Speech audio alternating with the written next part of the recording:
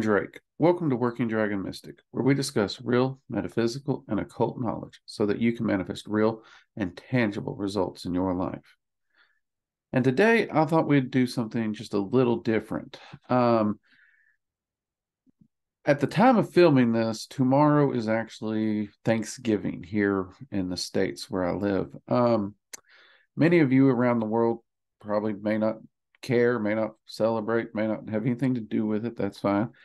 But it did get me thinking of something I do every year about this time and how it has been so beneficial to me, my practice, my self mastery, and my self empowerment. And that's actually one of the things I really wanted to talk about today. And that is learning to be thankful and how it's affected me over the years and how it's helped me in my self mastery. And I know that sounds crazy um, because there is a lot of people who use thankfulness as contentment and they're thankful they have this. At least I have this. I don't need to strive for this over here because I got this thing. And there's nothing wrong with that. There's nothing wrong with contentment. I agree to some points um, there are certain points where I think it's um, contentment is almost an excuse to try to do better. Okay, just some. Now, for me, I'll admit, growing up and looking at things in a lot of points in my life, I didn't really think I had a whole lot to be thankful for. So, anytime someone asked me what I was thankful for, I just kind of replayed the cliches family, friends, health, you know. And don't get me wrong, those are perfectly fine things to be thankful for. But the reason I say they're cliches is because I wasn't even thinking about it. Like if you asked me what I was genuinely thankful for, my mind went blank. So I just rattled off the, you know, what everyone expects you to say. And this led to year after year after year after year of my life being miserable in all accounts. And I was working with the dragons when um, the concept of thankfulness came up. And I actually rattled off that same answer. My co magician literally started laughing so hard he was on the ground. And I was like, What? And he's like, You can't look at me and tell me you do the things you do, throw yourself into situations you choose to throw yourself into, and care about your health. You can't tell me that you're thankful for your family when you and them haven't spoken in years. You can't tell me. So he was calling me out on my bullshit. And he was calling me out on my complete obliviousness of those things. And he's like, now, stop that and think.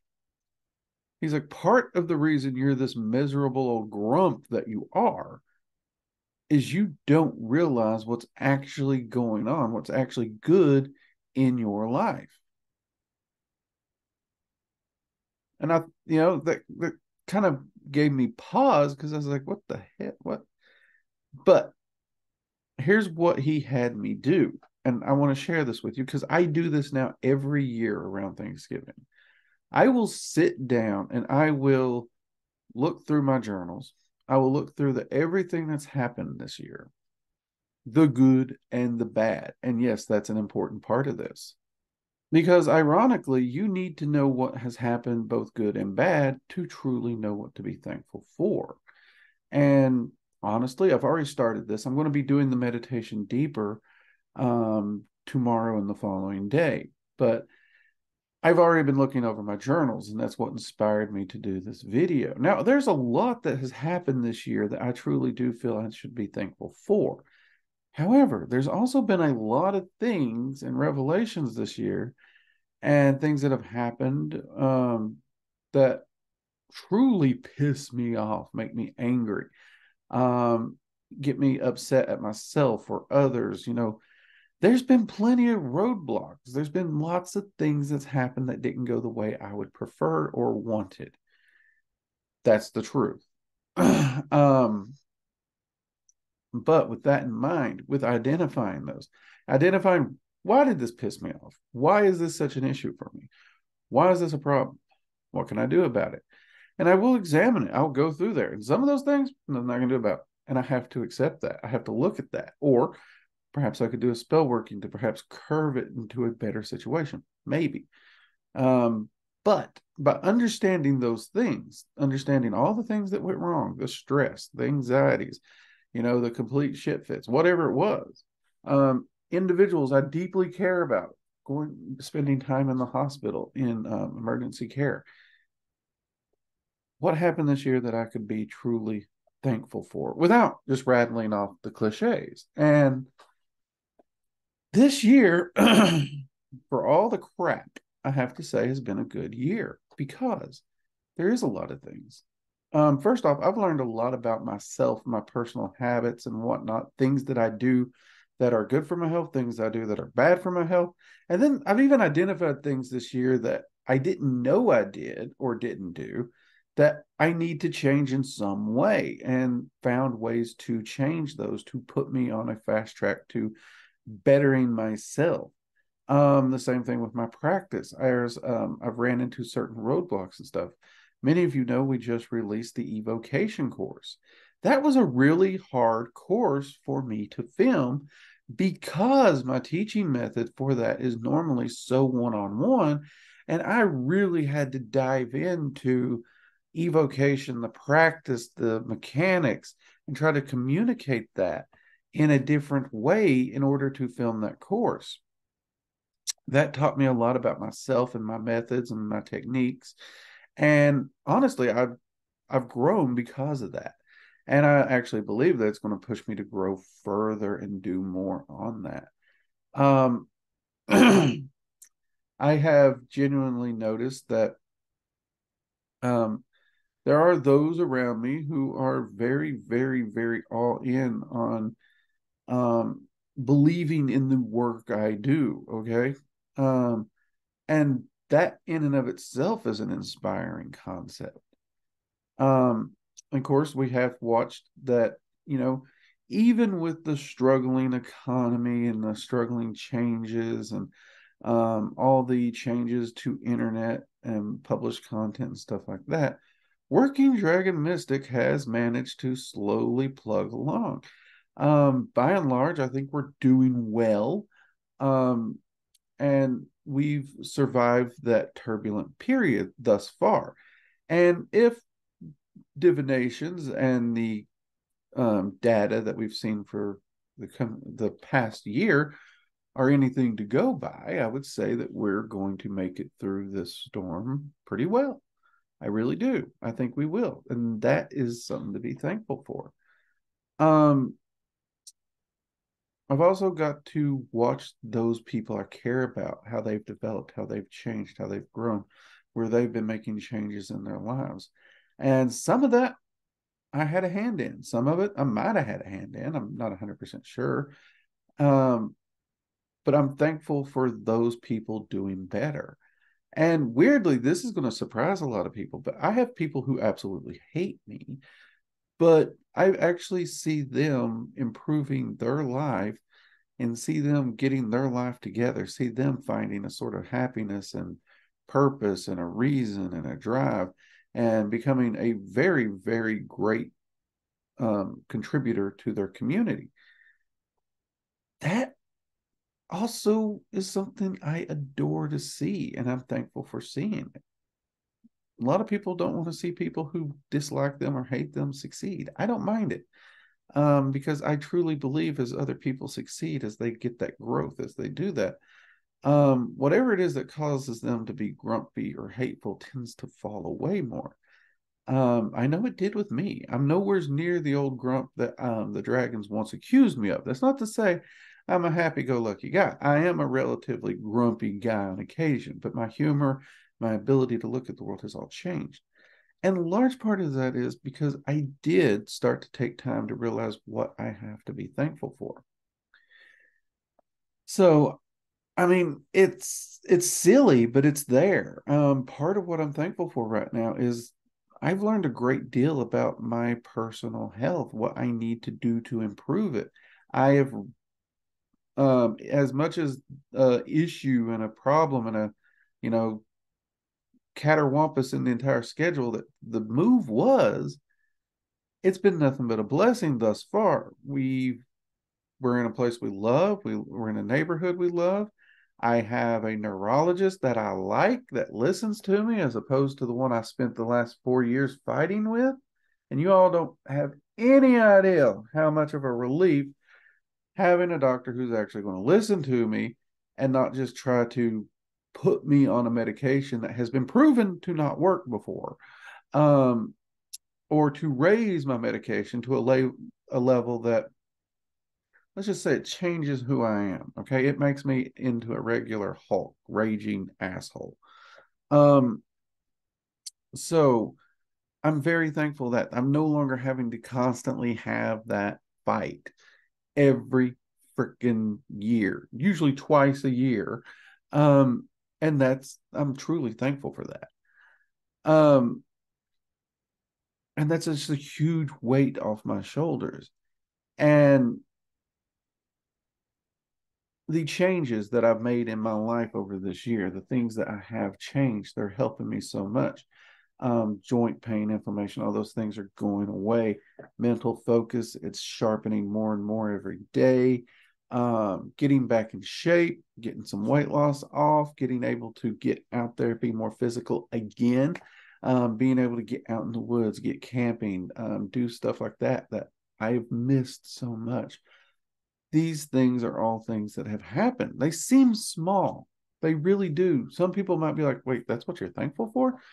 They seem so small to some people. But they mean the world to me. I'm not a complicated person. Like, yes, I did get a new vehicle this year. It's not a sports car. It's not a big giant four by four. It's it's a really amazing car to me. Um, I love it. I enjoy it. it. Has everything I need for camping, for doing the work I do, for travel.